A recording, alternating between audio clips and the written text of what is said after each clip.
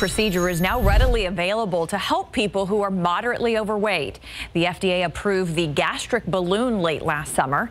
Leslie Mouton has a story of what one doctor and patient have to say about it. No matter what she tried, Doris Carroll could not drop the extra pounds she gained as she aged. Eating every three hours, exercising, liquid diets, anything.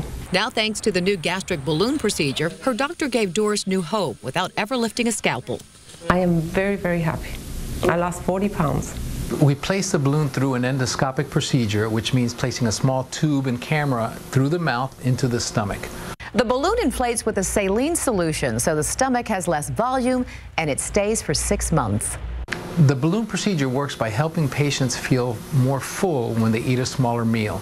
Nutritional counselors meet with gastric balloon patients to make sure they are changing their eating habits and lifestyle to keep the extra pounds from returning. This tool fills the gap of about 46 million patients that didn't qualify for bariatric surgery and were, were uh, large enough that diet and exercise alone weren't helping.